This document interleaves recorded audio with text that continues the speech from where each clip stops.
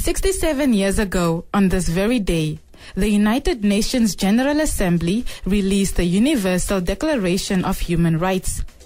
World leaders from different cultural backgrounds in all regions of the world called for the recognition of the dignity and the equal and unquestionable rights of all members of the human family. On this day, we as human race stand together to promote freedom, justice, and peace in the world. Namibia, do you know your rights as a human being? My name is Helga, and as a human being, I have the right to marry and to found a family irrespective of my race, nationality, or religion. My name is Amir, and as a human being, I have the right to good standard of living for my family, including acceptable food, clothing, housing, medical care, and necessary social services. My name is Anna, and as a human being, I have the right to freedom of opinion and expression. I am Charlton, and as a human being, I have the right to a nationality. My name is Talisa, and as a human being, I have the right to be born free and be equal in dignity and rights. My name is Dexter Netta, and as a human being, I have the right to work and free choice of employment.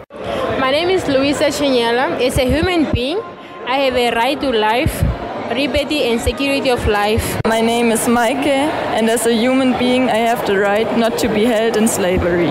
My name is Edwin, and as a human being, I have the right not to be subjected to arbitrary interference with my privacy, family, or home. My name is Malake Mwezi, and as a human being, I'm entitled to a fair and public hearing by an independent and impartial tribunal. My name is Emeni Philip. As a human being, the right My name is Priska, and as a human being, I have the right not to be subjected to torture or to cruel, inhuman, or degrading treatment or punishment.